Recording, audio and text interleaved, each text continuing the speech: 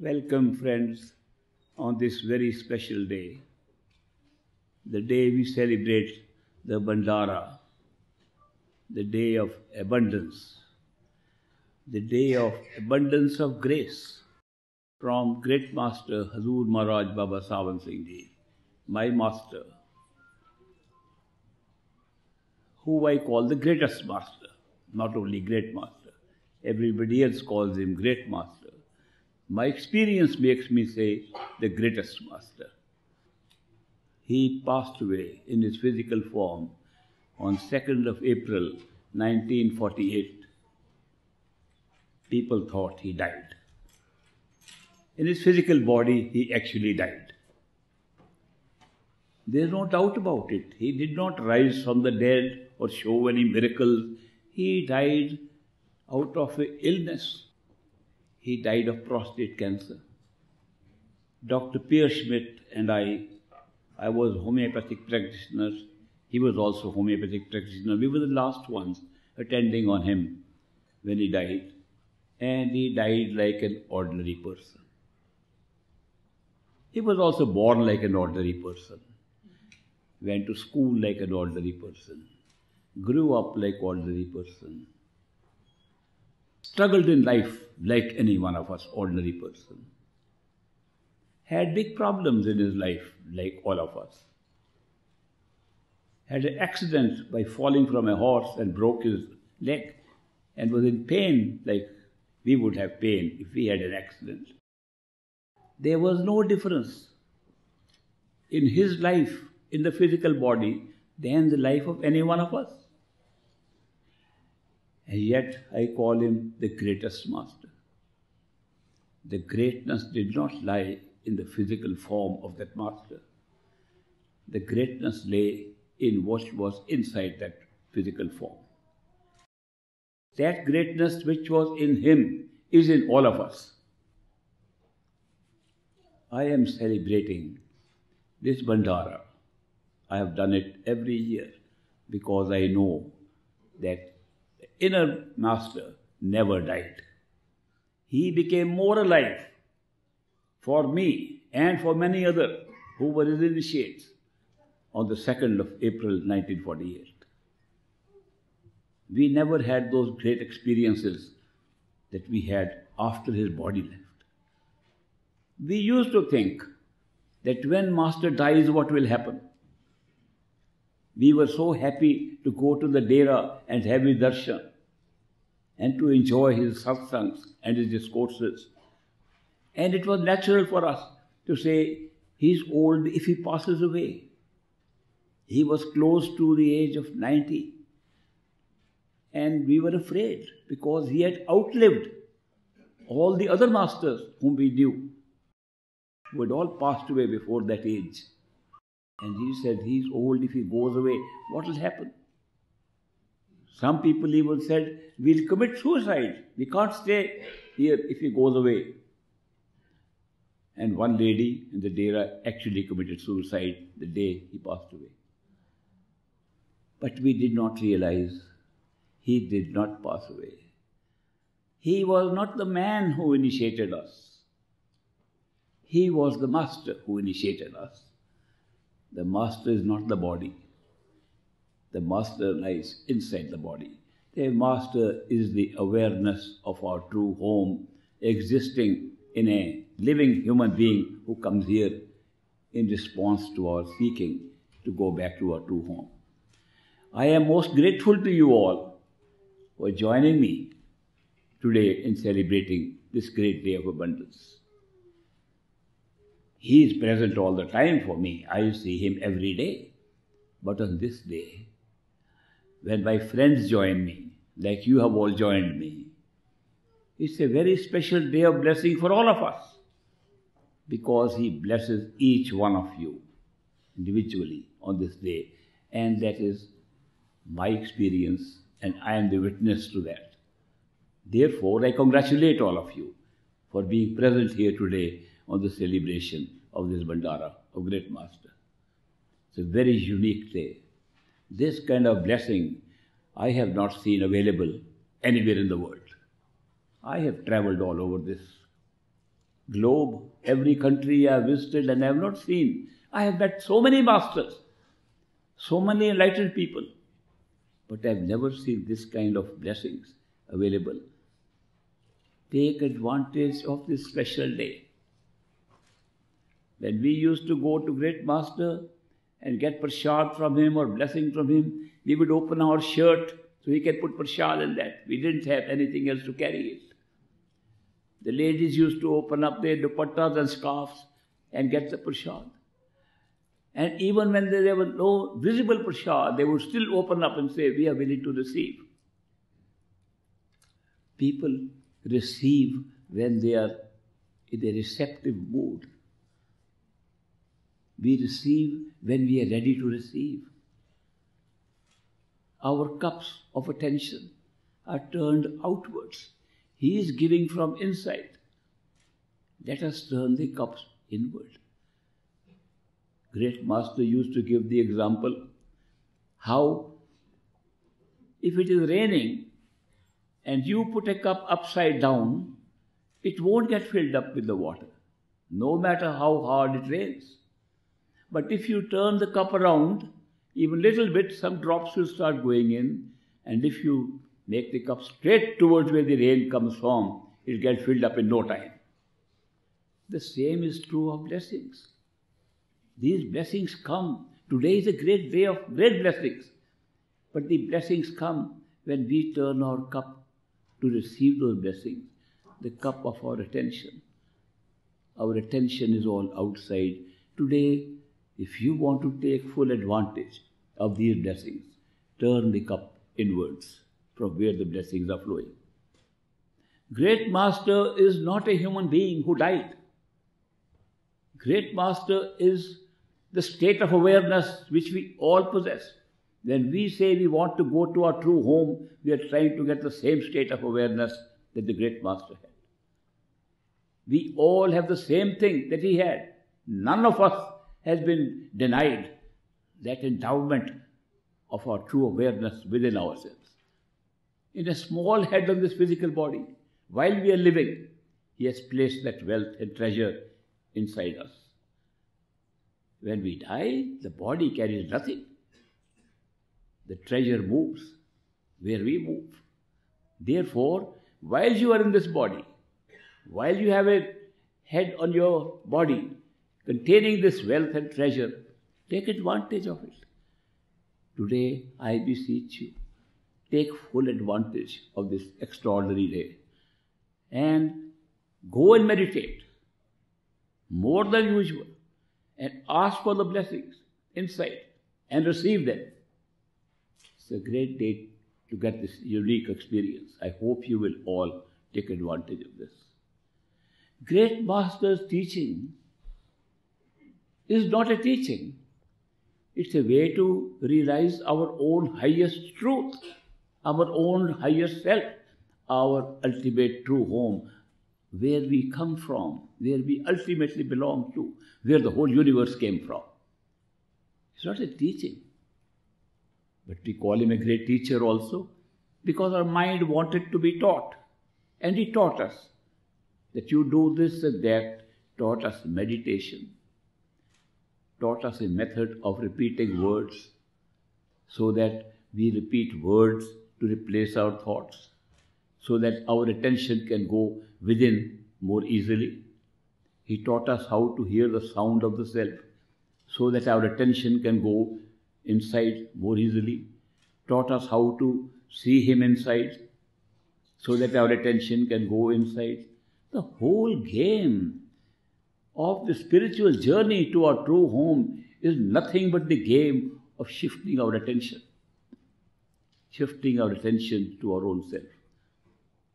And this is not something to escape from an experience we are having. Great Master used to say, his teaching, his method, the path of the masters, Santmat, is meant for the brave, not for the weak. You have to be a warrior. He used to use the word. You have to be a warrior to be in this path. Why did he say that? What is the need to be brave and warrior in order to meditate and find yourself? He explained that many of us cannot cope up with the pralabdha, the destiny we are born with, and we try to run away from it. We are cowards. If we cannot face what we designed as an experience of destiny, then that is not a spiritual path at all. That's escapism.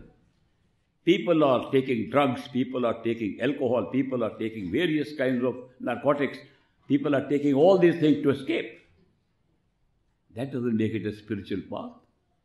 People are running into the forest. That this is where we will meditate. We can't stand this world. That is not spiritual path.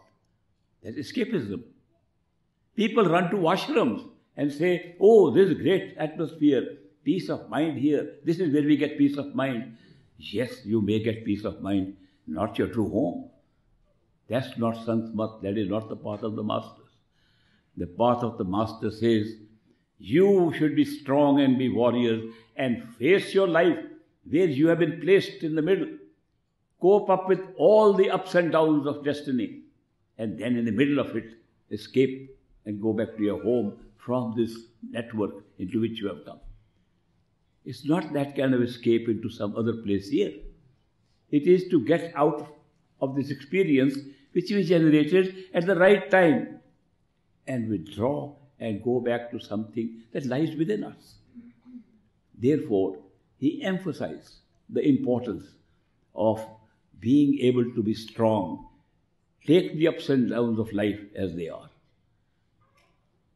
The love of a master overrides our doubts. We have many doubts. Our mind is doubting all the time. Every little thing that happens, we begin to doubt. Our faith shakes on the smallest things. We say we have unshakable faith. Somebody dies in the family. I couldn't master save him. I mentioned the first day somebody has a car accident. Why couldn't the master save the car? Oh, he saved me, but that's okay. But what about the car?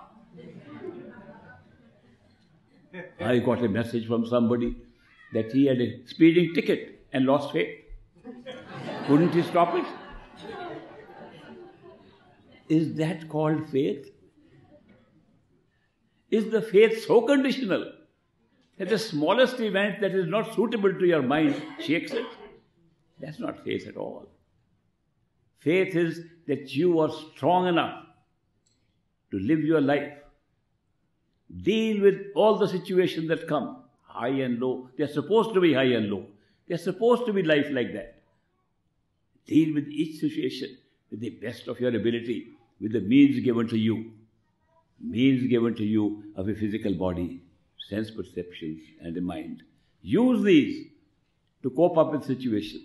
They are meant to be used. Use all this equipment given to you to cope up with the experiences that are happening outside and then go within and find the truth. That is the spiritual path as explained by great Master Baba Sawan Singh. It is not running away from anything, it's facing the challenges of life. We have to face them. And if our faith is shaking on little things, we have some way to go still. Then we haven't yet reached the point where we can say we are truly ready to go within. Many of us are sitting here saying, we have been meditating for a long time. Nothing has happened. We have seen nothing. Once in a while, we see some lights and stars, and we see some small colors or something. That's the only spiritual experience we have had. Let me explain to you, they are not spiritual experiences at all. If I knock you on the head, you'll have the same experiences. How can you call little sprinkling of colors and lights a spiritual experience? Spiritual experiences when you realize what the spirit is, what the soul is, or who you are. That's a spiritual experience. Spiritual experience doesn't come so easily. We have trapped ourselves by becoming a slave of the mind, slave of our sense perceptions, slave of our own body, and just following what these equipments need, forgetting that they were meant for our use and not that they are supposed to be using us. And that is the trouble that we have to get out of. That is the situation we have created from which we have to get out. It takes time. We are placed in a pralabdha, in a destiny which is made up of time and space. Everything flows in time. All the events are designed to take place in time. Every, every event is placed in time. Our time to become a seeker is also pre written on that timeline. Our time to work on it and move forward also written on that timeline. When we will get out, also written on the timeline. All pre-arranged. By being anxious about it, it doesn't change the timeline. But anxiety can be felt. By crying loudly, I want it right now, it doesn't make any difference. Timeline is set. I receive emails I want the radiant form ASAP. And I say, well, you didn't have anything ASAP earlier when you got involved in this world. You got more and more, deeper and deeper into this. You were enjoying your time in your true home as souls amongst other souls. You were having great bliss and joy decided to have more experiences, generated the experience of time and space, came into events spread out over so much time of billions of cosmic years. You came into this world and spread yourself out in so much time. You didn't say, I want this ASAP. When you want to get out of it, take your time. Not too much time. If you have been here for a million lives, one life is not too much time. It's one millionth of what you already spent. Therefore, they do not think it's a matter of one day, two days. It is a matter of several lifetimes. When we say we are seekers, the seeking has not come overnight. It has a history behind it. And you yourself know it that that history goes back how you had certain feelings when you were children. How as a child one can feel certain things, and then because the child growing up among the adults, we shut them down. They grow up, and gradually the seeking comes back again. And again we shut it down, thinking the real obligations of the pralabdha destiny created here are more important. We put our seeking behind and go out into the experiences outside as more important.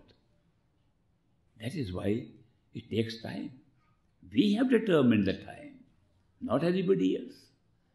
We have decided to spread our attention like this into an experience and got attached to the elements of that experience, attached to objects, attached to people, and now we want to pull ourselves up. It takes time. Don't be in a hurry. And if you have done a lot of work in past lives, that you are ready to go back now, even then I say, you are so used to this reality that going back quickly gives the feeling this reality is going to end, so I will end. Why go into that experience of fear and fright? Not necessary. So go step by step, slowly every day one step more. People say it's very difficult to meditate two and a half hours. We can't stay two and a half hours. I said, start with five minutes. That's a much less time. Five minutes of meditation, start with five minutes, next day six minutes, the next day seven minutes. One minute is not difficult to add. Five minutes is not difficult to start. If you do that, you will be fine, soon find you are doing two and a half hours. It's the way I approach. The mind tries to find excuses not to do something that will destroy its own stature, its own influence on the self. Therefore, the mind will find excuses of all kinds. If you have forgotten something, meditate, you'll start remembering it. The mind is so clever. We have given it life to become even more clever. Mind has no life of its own. The soul gives life to mind. We have given life to mind so we can use it.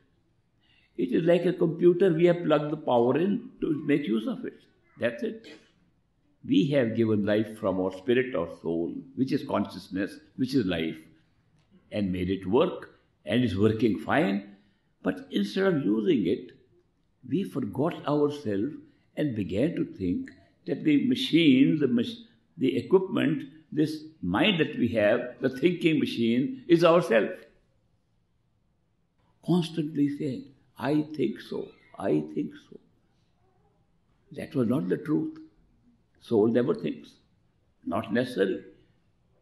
If you want to think, use the mind. That's exactly what we do. The correct statement would be I am using the mind to think. The self is using the mind to think or act or rationalize or speak or write or whatever. It's just a useful thing. But to make the mind our master and our becoming slaves is not the right way. Even to live here. It was not designed that we should live here like that. But the design of this universe is far more complicated than merely our coming to have an experience. When we create a universe, we create it much bigger than ourselves. We make ourselves small, universe big. We make ourselves very small creatures and make the universe big without realizing we are making the universe. The big universe has great, wonderful elements in it. The grandeur of space, infinite space. The more you look back into the time and therefore deep into space, the more life and more galaxies you find. The deeper you go into the inside of an atom, inside of a particle, the more wonderful thing you find there. A universe made of matter, created by us, is so fascinating. Who are we? We shut ourselves in the creative power and sitting outside with all these covers upon ourselves are become mere observers and living in a state where everything is wonderful and we are not. And everything wonderful is coming from out of us.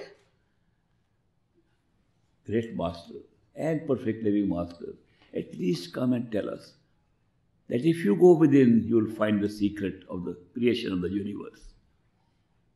Otherwise, you are small, very small observers living in a universe that's existed forever, and you are living only for a short time. This misidentification of the self with our body is limiting our view, limiting our capacity. And therefore, we have to go beyond this. The perfect living master's teachings are simple. The self, totality of consciousness, the biggest creative power, which can be conscious of anything, unlimited capacity, is conscious of whatever it wants to be conscious and it's called creation. It's simple. The creation is being created outside of the consciousness if the word outside can be understood not in terms of a spatial outside, but outside of the act- active consciousness. Totality consciousness is not in space and time. So the word outside does not really mean what it means over here. But still I have to use the word that consciousness sits inside whatever it creates. So it creates around itself. That's come down to space and time. after the consciousness has created around itself things like space and time, and a mind that functions in space and time, everything thereafter is also created outside of itself. The whole creation is outside, going further away from the origin. The nature of this creation is that it's all moving away from the origin. The scientists are also puzzled a little bit that Big Bang created this universe we are living in. That's their statement. They've been believing till now, they will not believe after some years. You will find out. If it was a big bang from a singularity, from a point, obviously that point should be somewhere. A big bang and an expanding universe started and went on expanding. The very thing the mystics say that consciousness expands into experiences all around it. They say a very similar thing. But where do they say is the singularity from which it expanded? When they observe this universe from any point on this earth, the expansion is all around the universe, all around this earth.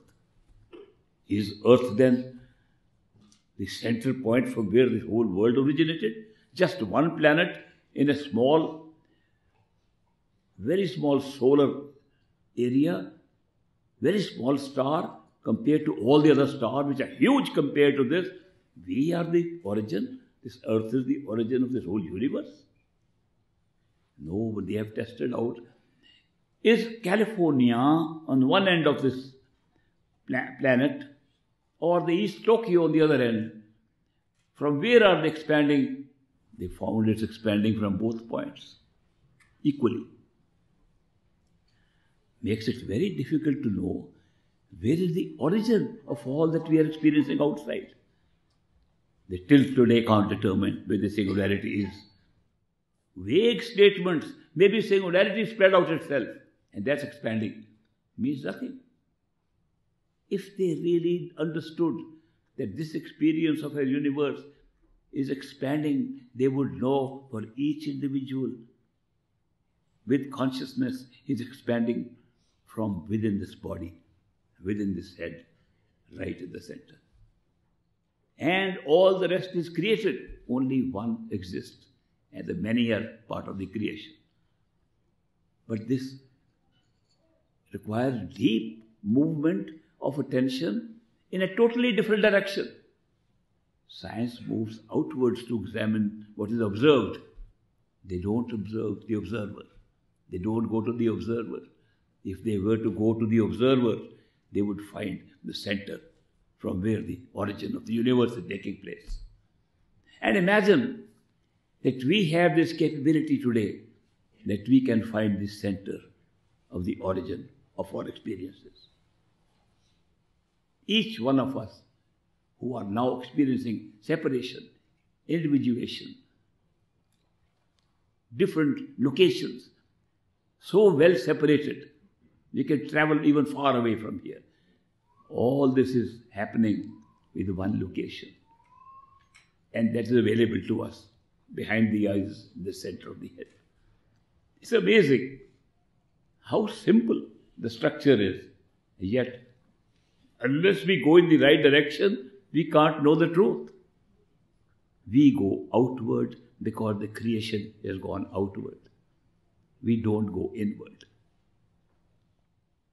Real meditation to discover these secrets as revealed by great master is to go inward. Go within. They have heard this phrase many times from many people. Go within. But they haven't understood. Go within where? Inside the head? First reaction, if somebody says, go inside your head, how can I go inside my head? I have to go where I can see where I'm going. I can't see a thing inside my head.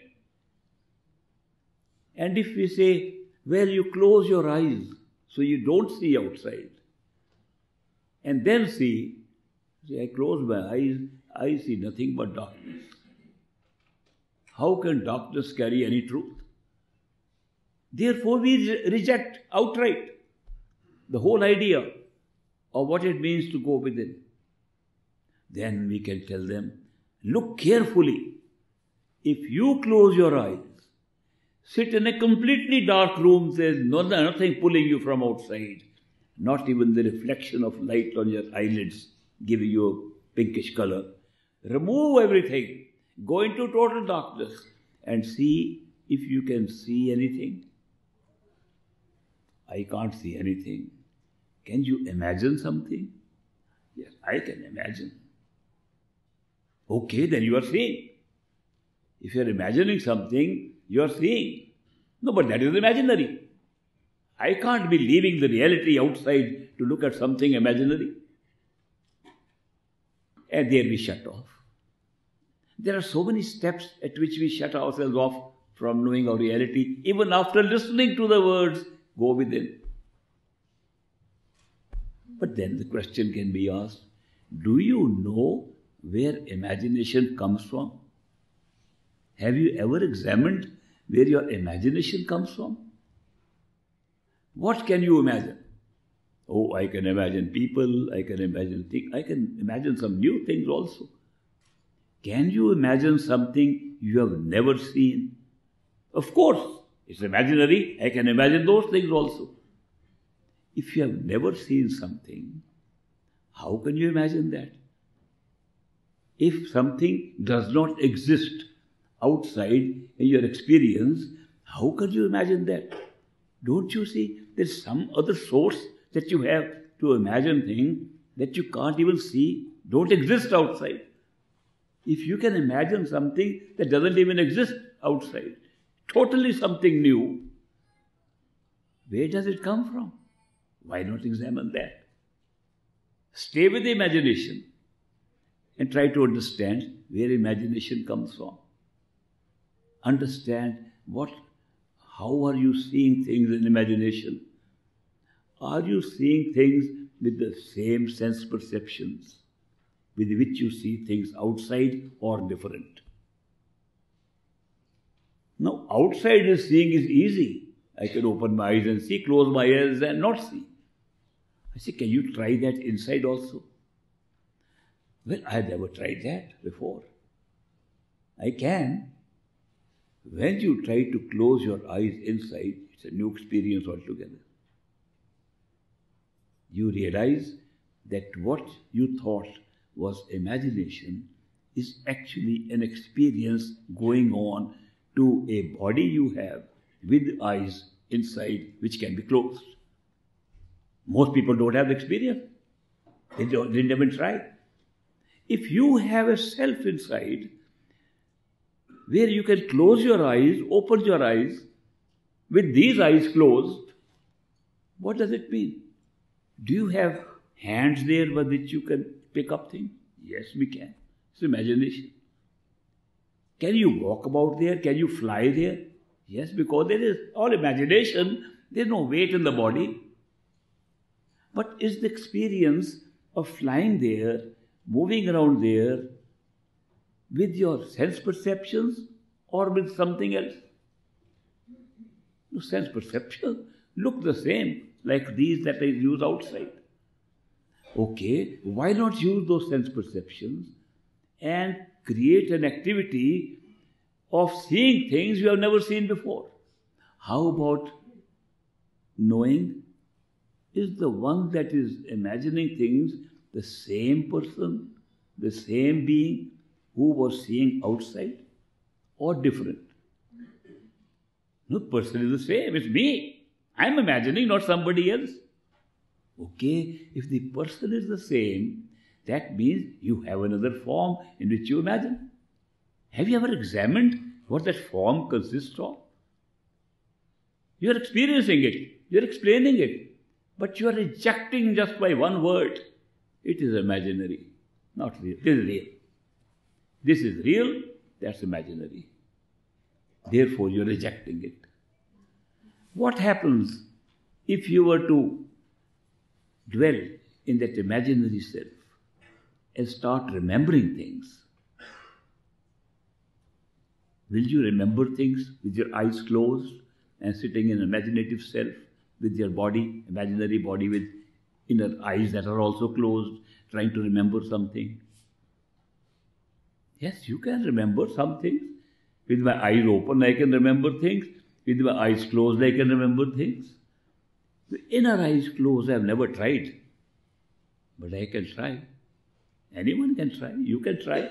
If you try and start remembering things, what happened, that is the most amazing experience with this simple exercise.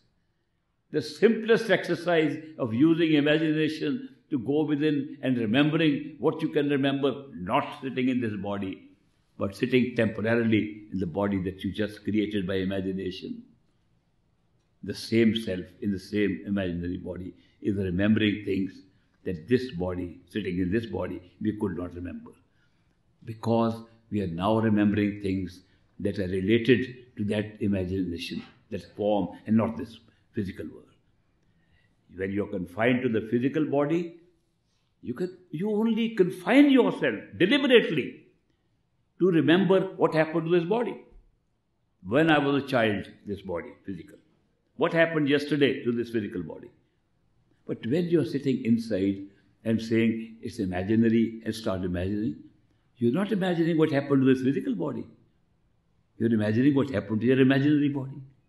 Can imagination go so deep that you can remember clearly what happened 100 years ago, 200 years ago, 500 years ago? That comes up. Any one of you can try. We do not realize that what we call imaginary is purely based upon the fact that we have mistakenly thought this is the only reality. This is not more real than that imaginary self. In fact, the imaginary self is more real than this. Only one step is needed, and I'll tell you that also. Supposing I were to ask you, while you're sitting in the chair there, please imagine that you have left the chair and come and are standing next to me. How many of you can do it? Many of you can do this. It's not difficult. If I say, imagine you are standing here and looking back at the audience, how many of you can do that? Little fewer, but many of you can do that. If you are standing here and looking there, how much of you feels you are still there? How much of it is here? 90%, 95% there, 5% here. That's how imagination works. You're stretching yourself in imagination to another location and still thinking, I am here, but I'm imagining I'm there. If you start saying, I am there and not here, you will increase the percentage of your presence here, reduce the presence here. Supposing you cross 50% of your imagination of standing here, you will be standing here and seeing an imaginary self sitting there. It's as simple as that. It's all a matter of how much attention we have placed upon experience to make it real. It's a great reality, it's a great truth that we are having experiences which we build our, uh, our reality upon. And when we say it's imaginary, we are saying it because we can't get out of this feeling of this is the only reality. If you can withdraw attention, and I said shifting 50%, nothing more than withdrawing attention. If you can withdraw your attention more than 50% to the imaginary self in your head, that will become real, this will become unreal. You can try it out. You will notice that the concept of reality is very relative. It all depends on where our attention is. When we have scattered our attention, not only in the reality of this body being the only real body, but also all other bodies are equally real, that the world is more real than any thought you can have, any imagination you can have. When it's scattered so much, it takes time to withdraw 50% of it within yourself. That's the time taken in good meditation. This is step one. The very beginning to understand that the experiences we have are generated from consciousness. This conscious experience of any kind is happening from within ourselves. Going within further, the process is the same. Withdraw your attention further within whatever you think is yourself. It's amazing that we always have a notional body of ourselves. Right now, the body is a physical body around us. It's the head we are carrying, the rest of the body we are carrying. When we are imagining, we have an imaginary body, but we are still in the head of that body. When we go to sleep and dream, the dream body is running around everywhere. We are still at the head of the dream body, never anywhere else. You will notice if you want to know where the self is, yourself, from where you think, from where you decide, from where you operate, it's always in the head of any form that you can make up, whether in your imagination or in a dream or in the physical world. It's a great indication how the forms have been set up. And why it's useful? Because if that is the way the form is set up at every level, that you have a head and a body. Supposing you have no body, you will still have a head. In the causal plane, the body disappears. It's not necessary because sense perception disappears. Single perception remains, combining all perceptions.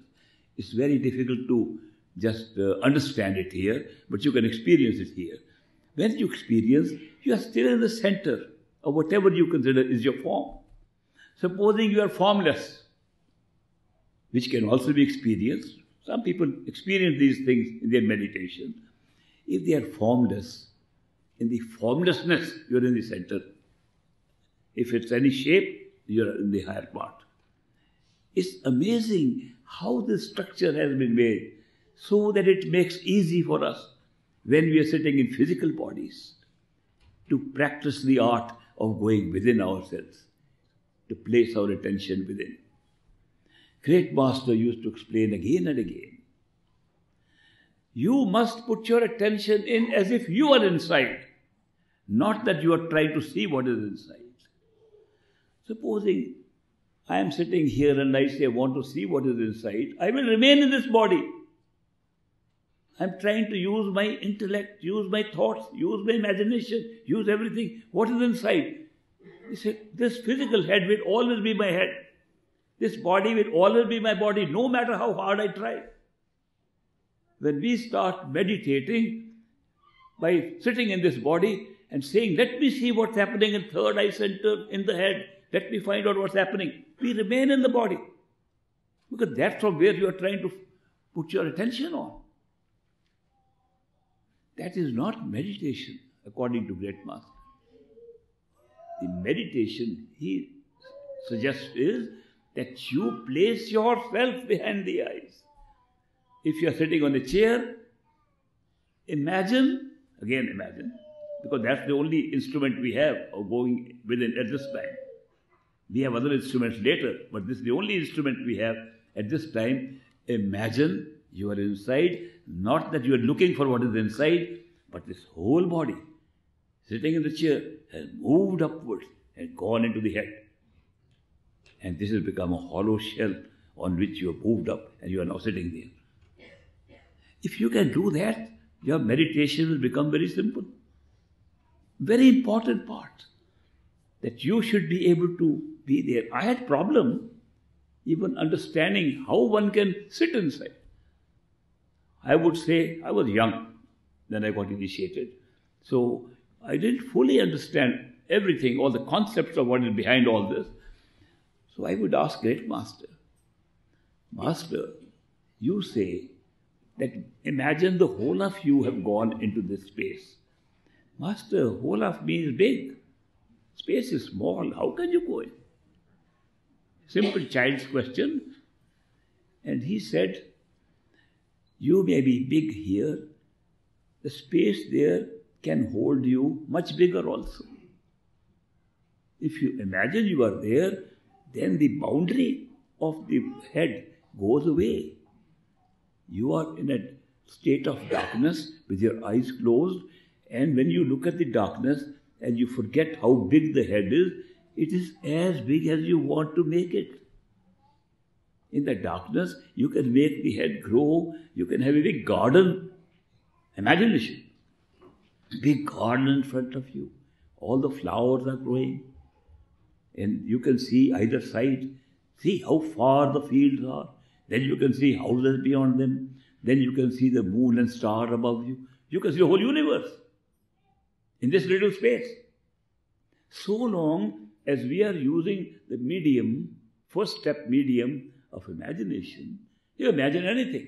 When you imagine that, this body is nothing to fit in there. I still couldn't understand. I said, Master, very difficult for me to feel that this whole body can go fit in here, even after imagination. Then he told me, did a little experiment with me. I still remember very clearly.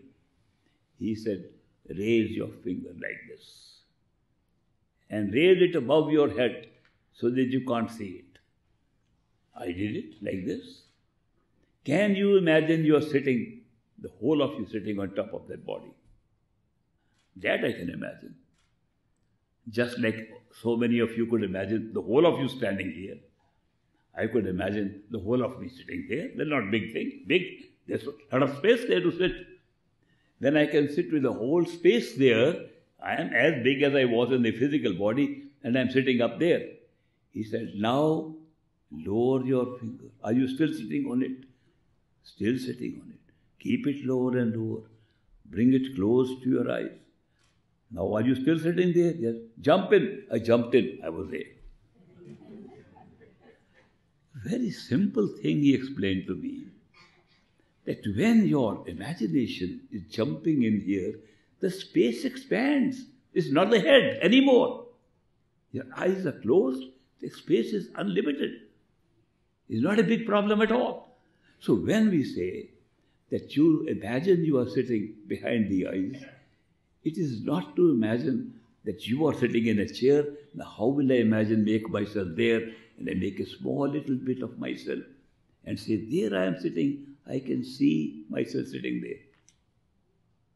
So many people have made this mistake and come to me after years of meditation that we can imagine ourselves there, sitting there. We look at that, we make the person moving around.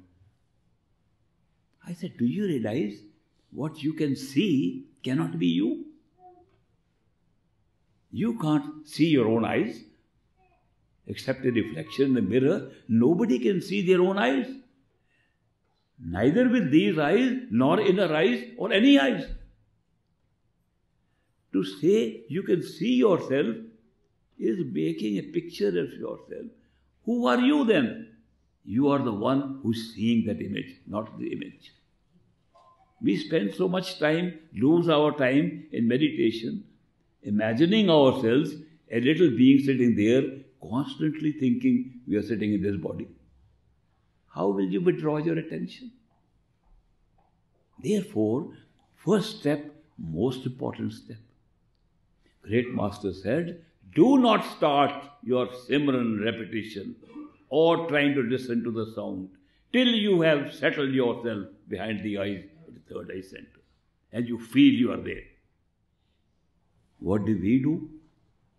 We close our eyes, sit in our comfortable place, start repeating the words, and wonder when light will come and sound will come. It doesn't come. We have not put our attention there. And when we start imagining little self of our sitting there, even that I've explained to people is not inside. It's not behind the eyes. You cannot imagine something behind the eyes if you make a separate image of yourself. The image you make with sitting in the physical body with your eyes closed is right in front of you outside. You are still trying to see that image with these eyes, which are closed, so it's imaginary. I give a simple exercise for that. Close your eyes and imagine little being of yours sitting inside. When your eyes are closed and you want to touch your eyes, you know bodily awareness lets you know where the eyes are. With eyes closed, you can touch your eyes anytime you like, like this. You don't have to open your eyes to touch your eyes. With your eyes closed, you can touch your eyes. All right? Now, after you make that image, which you think is inside, bring your hand slowly towards your eyes. When you bring them slowly towards your eyes, you will notice you will cross that image before you touch your eyes. So, where was the image? Outside. You can test it out. When we are conscious only of a physical body, our imagination to create an image is outside. But we can imagine we are sitting inside by pulling the whole of ourselves up in the space between the ears and behind the eyes. We can be conscious to start with that we have a head, and when we begin to think like that, head has no dimension. It's not small. When we look from outside, it's small. When we close our eyes and we see the space around, it's unlimited space. This self can fit very easily. The whole crowd can fit in there. Imagination is so wonderful. You have tried it out. You can put the whole stuff inside. You can definitely put yourself behind the, behind the eyes, between the ears, and then start meditation. Not before that. Any kind of meditation. If you want success. I am sharing these things after lifelong experience of trying to practice meditation with several successes and several failures. It's good to good for me. I am using this opportunity with great master's permission and his orders to share these things with you, to help you, because you are all seekers who have come here. You have not come here for nothing. You come here to make progress within your own self and I am only sharing that which came in my way as obstacles and how they were resolved by great master. I hope they will help you. One other important thing I want to share with you, very important. People say that for many years we have been meditating and didn't have any inner experience. That is not true. If you had no inner experience, you would not be here today. What has brought you here? Several years of no experience bring you here. One runs away if there's no experience. If there's nothing happening, you wouldn't come here. Why do you feel the pull from a master when you go to a master? What's taking you there with no experience? Is it blind faith? Masters say, don't have blind faith. And with no experience, you are running to the master. Are you not practicing blind faith? How do you account for it? How is it possible that you have no experience at all and yet you are thinking that Yes, I want to go and see the Master, I want to have darshan. I feel blessed, I feel something. We all used to feel like that, all disciples of great Master, without experience. How does that happen? That we can feel so pulled and run for darshan of a Master, run to have the presence of Master, get blessings from Master, and no experience to justify it. The truth is very different. The truth is, we cannot feel love for Master if there is no experience. We cannot miss the Master and cannot have that feeling, I miss the Master, want to go see if there is no experience. The experiences are taking place inside, not physically. Without experience, this, this feeling, this seeking, the expression of seeking of missing somebody or going there does not come. I tell you a very classic example. great master's own master, Baba Jaimal Singh. Baba Jaimal Singh missed his master so much, and he wrote a letter to him. He said, Beloved master, I am missing you so much. Please give me an opportunity to come and see you. Give me permission to come and have your darshan. He was living in Punjab. His master was living in Uttar Pradesh at a distance of several hundred miles. It was not easy to travel in those days. Even the mail took a long time. Sometimes letters took almost a month to be delivered. I don't know how they were carried by people or what. He wrote that letter and sent it to his master.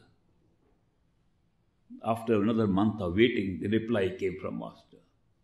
My beloved son Jaimal Singh, I am happy to receive your letter and to know that your soul is wandering around, roaming around in higher regions. He read the letter. He said, My soul is roaming around nowhere. I am having no experience at all. What is this master talking about? Oh, this letter must be for somebody else. Made to me by mistake. So he wrote again. Beloved Master, you sent me a letter saying that my soul is roaming in higher regions. It is roaming nowhere. I am having no experience. All I wrote to you was, I am missing you so much. I just want to come and have your darshan. Please give me a date and time when I can come. Month of waiting, another reply comes from Swamiji, his master. Beloved son Jaimal Singh, I am very happy to receive your second letter and to know that your soul is roaming around in higher regions and making progress there. Puzzled by the two letters, Baba Jaimal Singh took those letters with him. Of course, Swamiji wrote, so far as coming to see me is concerned, come in the first week of next month. Next month, in the first week, he carried those two letters and went to Swamiji in Agra, Uttar Pradesh. And he placed those letters in front of him. Master, I don't understand how you wrote to me that my soul is roaming around in higher regions when I have had no experience. I was just missing you. I just wanted to come and see you. And his master laughed and said, Let us go inside the chamber for a little while. Ten, twelve people were sitting there outside. So Baba Jaimal Singh and his master went inside the little hut, spent maybe half an hour, came out. And he said, Tell me now, Jaimal Singh, when I wrote that letter, was your soul roaming around in the higher regions or not? He said, Yes, Master, it was. I am not asking you if the soul was roaming around when we went inside the chamber. I am asking, a few months back, when I wrote the letter, was your soul roaming around at that time or not? He said, Yes, Master, my soul was in higher regions experiencing it at that time. Nobody could understand what they're talking. So Swamiji turned to the 10 or 12 people sitting there and explained. He says our pralabdha, our destiny creates obligations for us to deal with the world as a reality. Therefore, the spiritual path is not merely of what you see as you go along. The spiritual path is to keep on making progress inside while your blinders are put on your eyes so you don't see what's happening inside, but you have to carry on the obligations of your pralabdha, your destiny here. Therefore, you cannot have a feeling, he explained, of missing your master, wanting to be with him, if no progress is being made inside. But when your obligations, which are creating the need for creating reality for you outside, are fulfilled.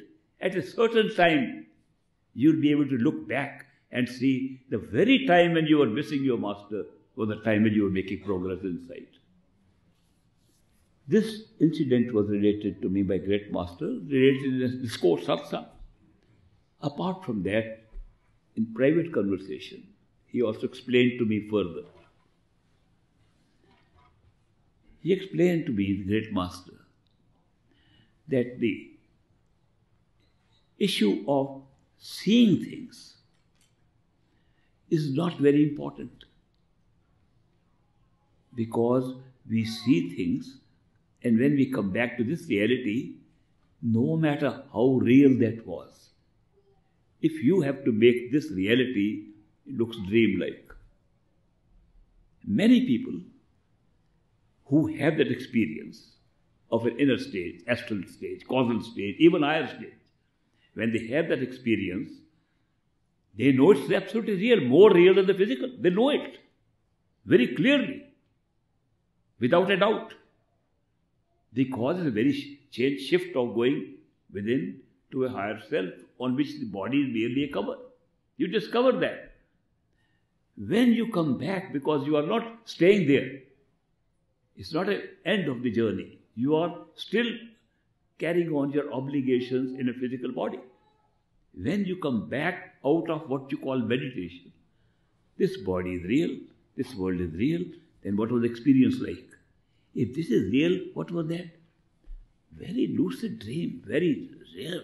Looked so more real, but must be a dream. Maybe I had a dream like that. How can a real experience look like a dream?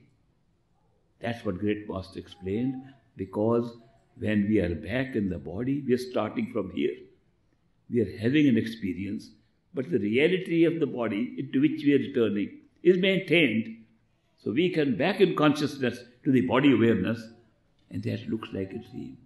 Not only that, 99.9% time, we will forget it. Just like other dreams we have at the lower level. Very important point. Every night we all dream. How many of the dreams do we remember? Some people say, I never dream.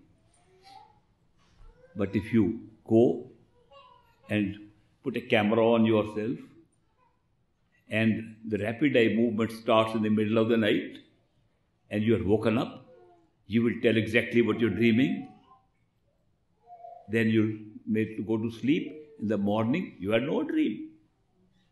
You can play the tape. You were said this thing in the middle of the night.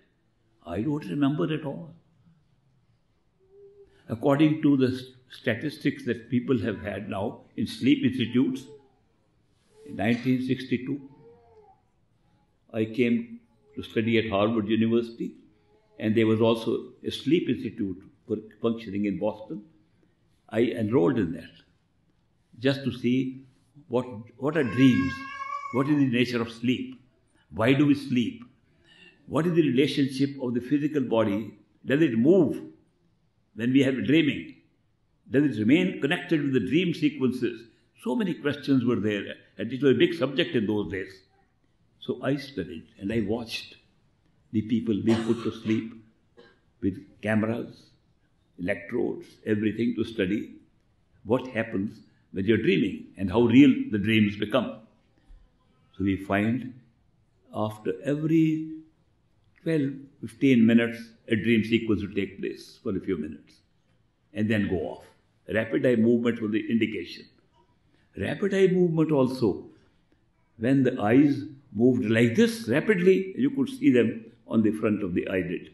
When that happened like that, the camera would catch it we would wake up the patient. We would wake up the subject there. What were you watching? Oh, I was watching a waterfall, a big waterfall. The sequence in the dream was moving vertically. Somebody was having a rapid eye movement this way, horizontally. We wake up. What were you seeing? I was seeing a tennis match. See, then go there. So the eyes are physical eyes, are responding to the dream sequence. Then people would move their arms suddenly. Then what was happening? I was fighting with somebody. This body's connection with what is being generated as an unreal dream sequence in us remains connected like that. But when we wake up in the morning, it disappears the scientists have found out that 99.99% of dreams disappear within 30 seconds of waking up. And many of them are so fast, we just we can't remember them. Except certain dreams which are either highly traumatic or highly pleasing, and they can stay for a little while longer. But the withdrawal of memory of the dream is very rapid. So is the withdrawal of an experience of a higher type. Because we are back here in the same body. I am making this thing so clear to you. Do not think you are making no progress just because there's no spectacle to see. Things happen within you, making you feel you want to go and have the darshan of a master.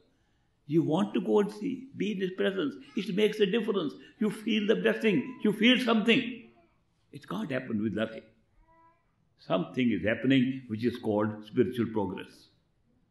One day you will find out when you are ready, based upon the karma you are carrying, based upon the pralabdha you are carrying, how much progress you made at what time. It's amazing. But this truth is not known to many people. They feel we need to have proof right now. Who is asking for that proof? Is the soul asking for that proof? Of course not. Soul is making progress. Then who is asking for that proof? Our mind. Mind says, I don't believe it. I can't believe. I have doubts, I am making no progress. I don't see anything. This is a nature of the mind to create doubts. But in spite of these doubts, we still make, keep on making progress. And that is why it's not blind faith on which a person comes to a master. It's faith based upon an experience happening inside. There is some reflection of that inner experience which we cannot see in an outward life which we can see.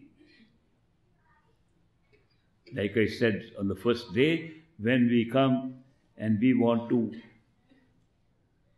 find a parking space, parking lot is full, one car pulls out, thank you, Master. Did Master come to find the space for you? How are you thanking him? What is making you thank him? What is making you connect that simple, small physical event with the Master? Something has happened.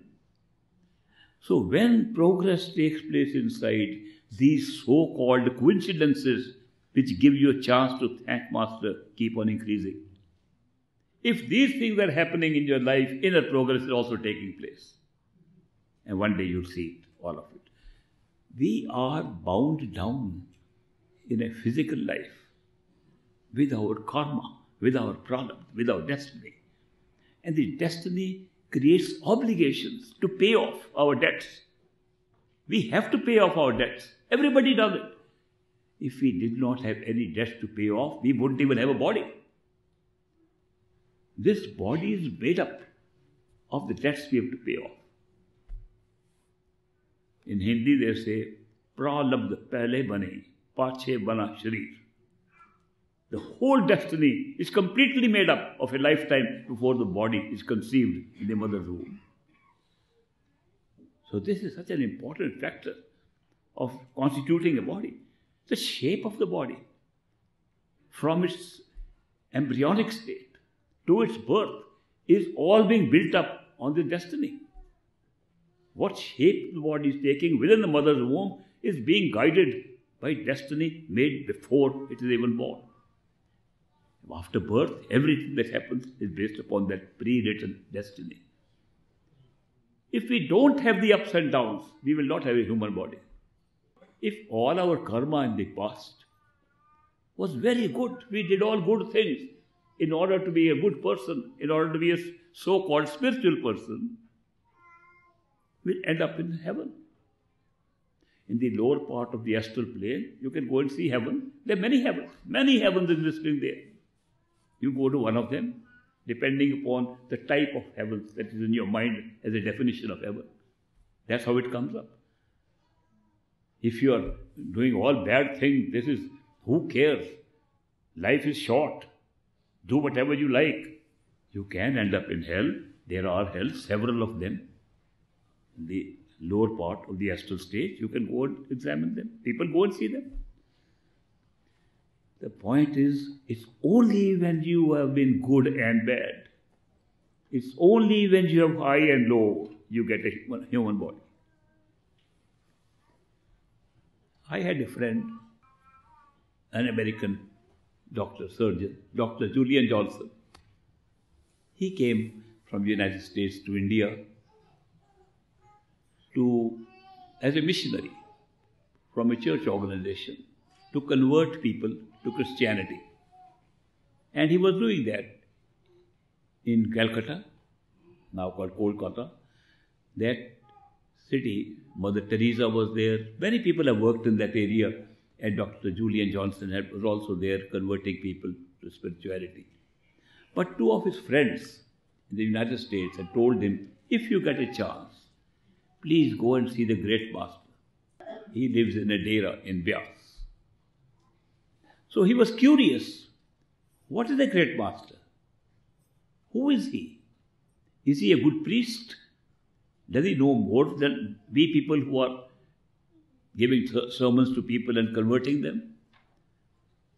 So he wrote a letter to Great Master that I have been informed by my friends that you are a spiritual teacher and I would like to see you because they seem to be thinking very highly of you. They think I'll get something by coming to you. So I am a Christian missionary and a doctor. I'm currently working an assignment in Calcutta. Great Masters wrote through his secretary that, Dear Dr. Johnson, you are most welcome. You come by train. There is a non-stop train that comes from Calcutta and it runs all the way, the Calcutta mail comes all the way to Amritsar, a town little beyond the Dera, and also stops at Jalandhar cantonment just 25 miles before the Dera. It does not stop at Beas station where the Dera is located. You can come and stop at the first station, Jalandhar, and one of my representatives will meet you there and then he will bring you to the Dera. I'll be very happy to meet you. The first letter he received. And Julian Johnson traveled all the way. And Great Master asked an attorney friend of his, a lawyer, Bhagat Singh, who lived in Jalandhar camp, whose house was almost next to the railroad station. He said, Bhagat Singh, this American doctor is coming and uh, can you receive him at the station? There are not too many white people coming. You would immediately recognize him. He said, Yes, Master, I will receive him.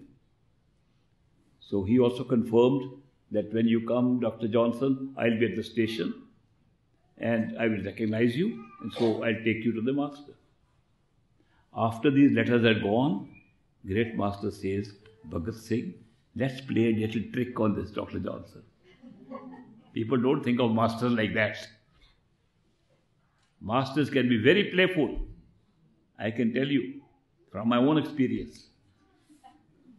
He said, Bhagat Singh, before the train lands there, I will come from the Dera and hide in your house. I will hide in your living room.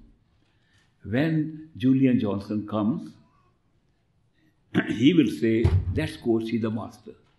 You say, What's the hurry? Come to my house and have a cup of tea. You have had a long journey and a cup of tea will refresh you. He will say, No. This is great master telling Bhagat Singh. He will say, No, I am in a hurry to see master. I have not come for tea. You insist to take him to your house. He will get very irritated. when you bring him to your house, you say, Dr. Johnson, I have a surprise for you. And you bring him to see me in the living room. That's precisely what happened. Julian Johnson landed at the station. Bhagat Singh received him. He said, Dr. Johnson, welcome. I am Bhagat Singh, sent by Great Master to receive you. And it's a 25 mile journey to the Dera. It takes a little while. You had a long journey. I'll take you to my house just next door. We'll have a cup of tea and relax and go to the Dera. And Julian Johnson said, I have not come for tea. If you excuse me, I'd like to go and see the great master as quickly as I can. Bhagat Singh said, What's the hurry? Don't be in a hurry. Julian Johnson got a little angry and irritated. I, am telling you, I'm not interested in tea. No, no, no, come along, come along. And an irritated Julian Johnson arrives in Bhagat Singh's house. There, Bhagat Singh says, Dr. Johnson, I have a surprise for you. Come inside. He takes him inside, and Great Master sitting there. And Julian Johnson is so struck by what happened. This preparation he did to irritate him must have also worked to give a bigger surprise to him. And he came there. He said, Welcome, Julian Johnson. Come and have a seat. Julian Johnson said, Master, you came all the way to see me here. And Master says, You came from America to see me. I only came 25 miles. Julian Johnson sat there, speechless. He could not know what to say. He did not know what to ask. He spent looking at the Master. Who is this man? What is he doing to me? Why am I feeling like this? All these things were going through his mind. He thanked the Master, and they both came to Dera. And he had brought a typewriter with him, old kind of typewriter. And he wrote a letter to his friends in America that night. He says, he gives this whole example, incident of what happened. Says, what I have received today in a couple of hours in the presence of this great master, if I get nothing more, I'll be satisfied. I came and got what I wanted. He never heard any discourses. He did not get initiated. He didn't have anything except that little time that he spent with the Master. What happened? Where did it come from? He didn't know at that time at all. But then he got initiated. And I was a young boy at that time, but I went to an English speaking school so I could speak English fluently, and the others could not. So I became a good interpreter for him and also a friend of his. So we would go around various places, I would explain things to him.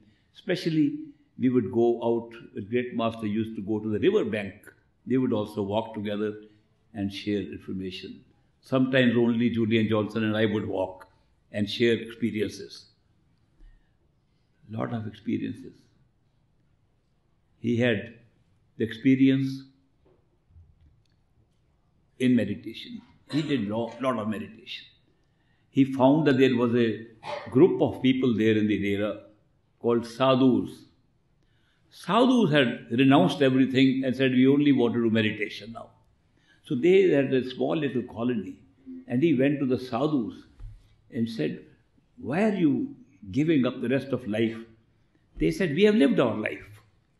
And we think our life is now meditation and go back to our true home.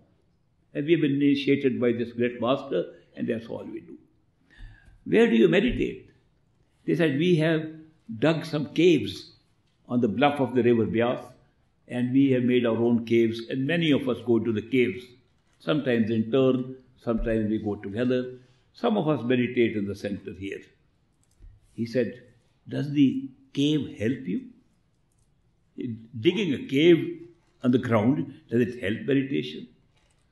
They said, It does help it helps in listening to the sound better because it really blocks the outside sound better. Outside sound is a distraction. Also, when we close the cave, shut it down, the darkness is good for seeing inner lights.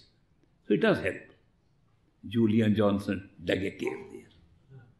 He made a better cave than those people, and he would put a little uh, mat there, and also took a wooden door and put a wooden door to close the cave. And he would meditate there. Once in a while, I also got a chance to meditate in Julian Johnson's cave. He had great experiences. One experience which he noticed was that he can, in the inner stage, recall his past lives. He recalled one life after another, one life after another, went all the way to the Stone Age. And there he got frightened when he saw in the Stone Age he had picked up his own son by getting angry and was going to throw him into a well and blow him up. He said, No more, I don't want to see old previous lives. And then he remembered in which life he had to pay off for that. Then he remembered what work he had done to become a missionary in the first place, to think of God, and then to find a perfect master was done in a previous life. All these lives he saw. He shared all these things with me as a little child. I took them as very normal. I said, everybody must be getting the same thing. No, he was unique. He was unique in many experiences. Then he would go to Great Master, say, Master, please help my friend there. His wife is suffering and very sick. Please help. Give your blessings and grace. She can feel better. Great Master would say, I will talk to my master, Baba Jaimal Singh, and help him. After a few days, he told me, I've been making a big mistake. I now realize that the ups and downs, the health and sickness, the accidents that happen, they are the ones that created our human life. I am asking for great master to stop and change destinies of people. I'll never do it again. I'll never do it again. I realize that human life is like a platter of high and lows. If I mess up with the platter, I won't be here. And if I am not here, I would never meet great master. I can never forget that conversation with Julian Johnson. It's good to know that we are human beings because we are a mixture of karma. Our destiny to make us human being comes only with a mixture of karma. Therefore, we should be very strong and cope up with this mixture of karma, pay off our debts, receive the goodies that we have to, and pay off where we need to. And take it like that. If something happens, somebody steals your money, thank you, paid you back. Not catch him. Very difficult to do it. But if you are taking life really what it is, you will never feel bad at something that you think is bad. You will know you are paying off something created by you according to the law of karma in this world. Nobody else creates your life. Nobody else has created this life of yours. Don't blame God. God, why you gave me this life? Don't blame Master. Master, why have you given me bad karma? We created under the law of cause and effect in which we come into this physical world, we created.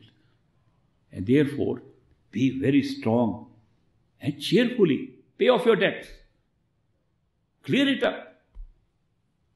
Masters clear it up. Great master had accidents, broke his leg, went through pain, had cancer of the prostate, got treatment, and died. He didn't say, Oh, Master Babaji, help me. When he had intense pain, he would go to Master, and Master would give him words of consolation, tell him what to do to relieve the pain, make him stronger to cope up with it. Master do that. But the event, which is the karma, takes place. So that is why don't always think, oh, this is bad, this is good. The, the combination has given us the opportunity to become human beings, has given us the opportunity to become seekers, has given us the opportunity to find perfect living masters. It's so beautiful. If you look at life like that, you will look at everything differently. Therefore, great master was right in saying, you have to be a warrior. You have to be brave to be on this path, not one who wants to run away from life. If we run away from life, it's only a part of karmic pattern where we postpone what we owe and come again and again, again and again. Pay off the debts, finish it off, and go home. So that is why I'm sharing this information with you. It's very important. Be brave. be strong, and take the blessings of Great Master. Blessings will help you to be strong. Blessings will help you to cope up much better with the karma around you. Blessings will help you in your meditation. Blessings will help you in everything. So I am happy today that you came to join me in this Bhandara of great Master Hazur Maharaj Baba Sawan Singh. And it's a great opportunity for you to receive his blessings.